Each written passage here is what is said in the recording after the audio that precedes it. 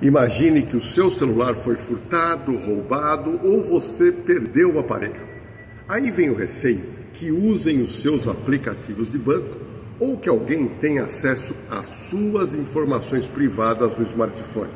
Bom, a pergunta é a seguinte: você sabe apagar os dados do seu celular remotamente, ou seja, à distância? para que bandidos não roubem o seu dinheiro e não tenham as suas informações privadas? Bom, se você respondeu não, então assista esse vídeo até o final. Meu nome é Jorge Lordello, eu sou especialista em segurança e tenho experiência de mais de 20 anos como delegado de polícia e diretor de presídio. Eu já lancei livros no Brasil e publiquei livros também em mais de 28 países. Apresento o programa Operação de Risco na Rede TV todo sábado às 10h10 da noite. Vamos lá.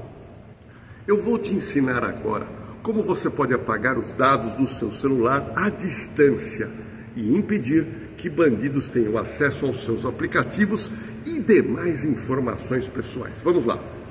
Primeiramente, você precisa ter acesso a um telefone ou um computador, porque o seu sumiu, não está com você. Se o seu celular for Android, eu quero que você acesse o site android.com barra find.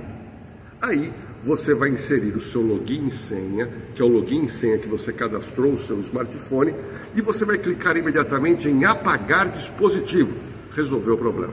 Agora, se o seu celular for iOS, você vai ter que acessar o site iCloud.com.